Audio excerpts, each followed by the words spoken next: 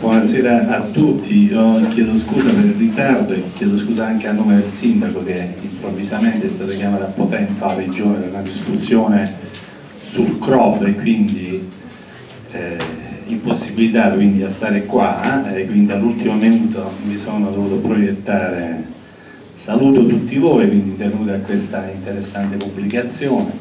un saluto particolare chiaramente alla famiglia Catenacci. Eh, rappresentata al tavolo dal nipote Giuseppe che ha sostenuto, come ben ricordava il coordinatore di questo incontro, Donato Pronto, eh, ha donato e ha, curato la pubblicazione, ha donato i volumi alla Casa di Riposo. Eh, un saluto ai relatori che ci aiuteranno a comprendere eh, meglio e più pienamente la figura poliedrica e il pensiero dell'ingegnere Catenacci un ringraziamento chiaramente particolare agli autori, a Michele Traficante, eh, a Padre Carlo Palestrina che tra poco arriverà e al curatore Leo Vitale che, che come ricordato Donato Pronto ha provveduto alla risistemazione dei capitoli, alla selezione dei documenti, eh, per capirci eh, ha messo a punto ha dato maggiore corpo al brogliaccio come dice Michele Traficante eh, il brogliaccio che Michele già aveva, eh, aveva, già preparato, cosa che sicuramente ha conferito al, al lavoro snellezza e agilità. Un saluto alla coordinatrice della Casa di Riposo, sempre molto vicina a noi e noi a loro, e, al Presidente della Confraternita, Savino Cecere, che ci ospita in questa bellissima pinaconica sulla quale però l'amministrazione comunale a dire il vero, forse è stata l'unica amministrazione, un assessorato alla cultura, abbiamo curato una pubblicazione specifica, abbiamo stampato circa 3.000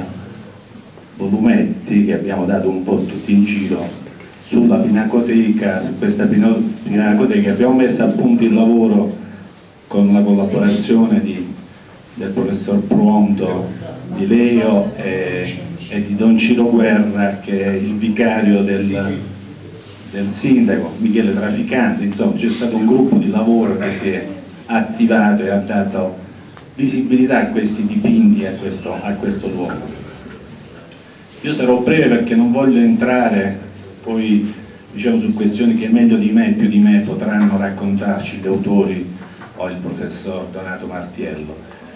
Certo che il lavoro eh, messo in campo, che ho letto con grande attenzione, è una concreta illustrazione a tutto tondo dell'eccezionale vicenda umana del, dell'ingegnere Catenacci, che i due autori distintamente evidenziano con lucida maestria, il caso proprio di ogni aspetto della personalità di Catenacci, le vicissitudini della sua esistenza segnata da momenti di particolare sconforto, da grandi dolori, ma anche allietata e resa piena e positiva dalla stima e dall'affetto di tanti personaggi eccellenti eh, e resa viva e piena dei suoi sempre sentiti impegni civili e politici. Un rilievo, un rilievo certamente è dato dai rapporti di profonda amicizia che, eh, che legò l'ingegnere Catenacci con, con Don Giustino, con Fortunato, un'amicizia assai arricchente per Catenacci chiaramente in quanto, come anche Donato Martiello evidenzia nella prefazione, eh, l'ingegnere Catenacci trasse ispirazione e guida sia per gli studi meridionalistici, sia per la ricerca storica e sia per la passione per la natura, specie per la montagna. Io direi che il Catenacci forse fu un ambientalista antelitteram leggendo alcuni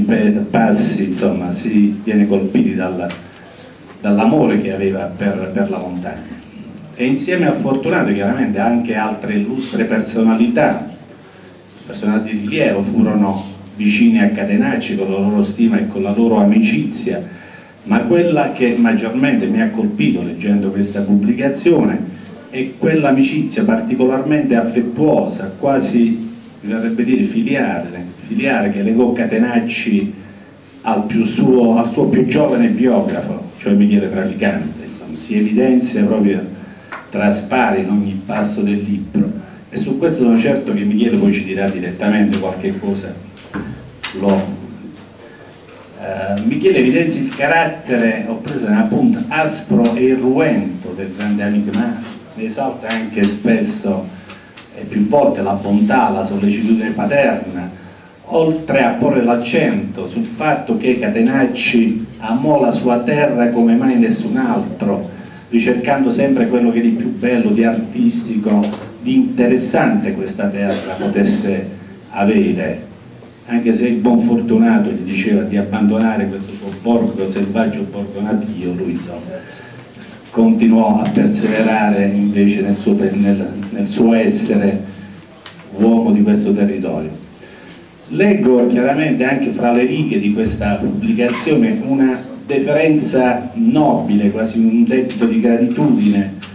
eh, che lega Traficante al suo maestro Catenacci, molto similare, molto molto similare anche a quella che legò a sua volta Catenacci con il Fortunato, mi pare una continuità quasi. Eh, gli, gli, autori dicono in premessa che, che questa pubblicazione non è esaustiva nel rendere